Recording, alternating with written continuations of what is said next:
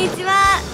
今日はことにアイドルプロジェクトのことにガールズコレクションにて行われた伊藤洋華堂さんとのコラボ企画母の日ギフトのコーナーをご覧ください。どうぞ。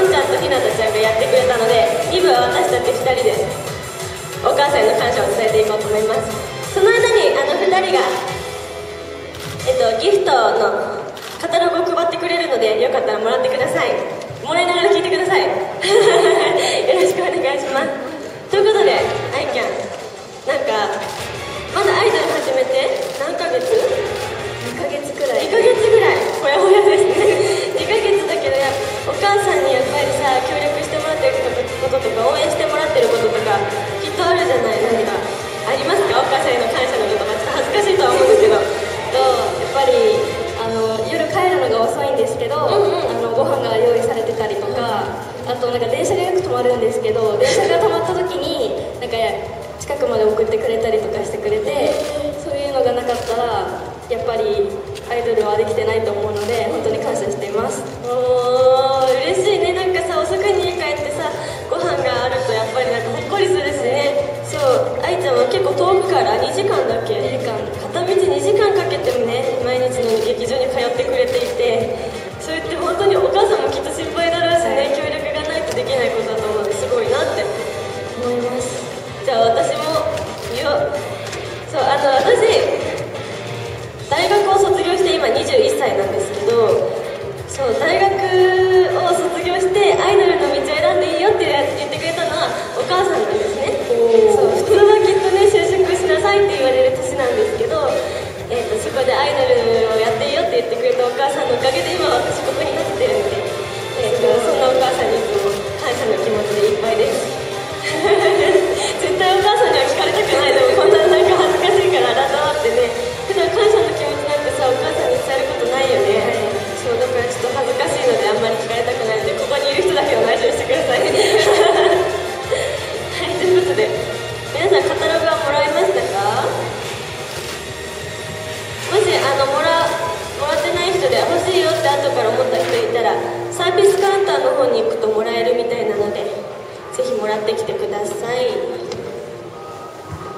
ということで今配ったこの母の日ギフトのカタログ持ってますか？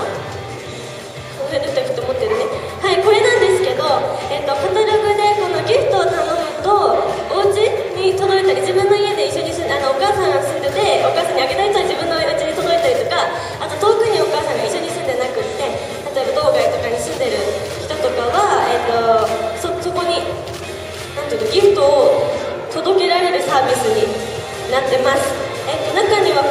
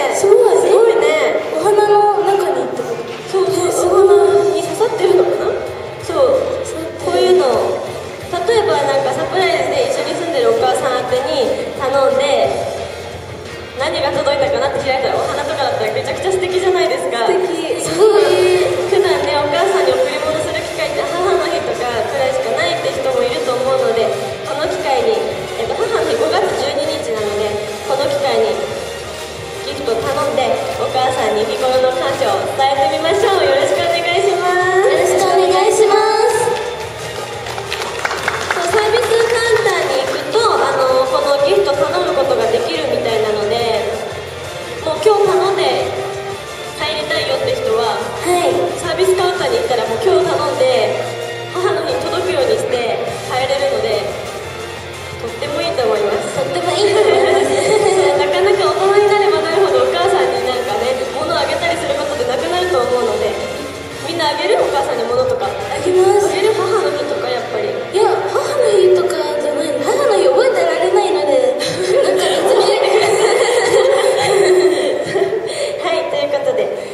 ゃあ続きましてチームクレレコから1曲聴いてください「クリスタルレインボー」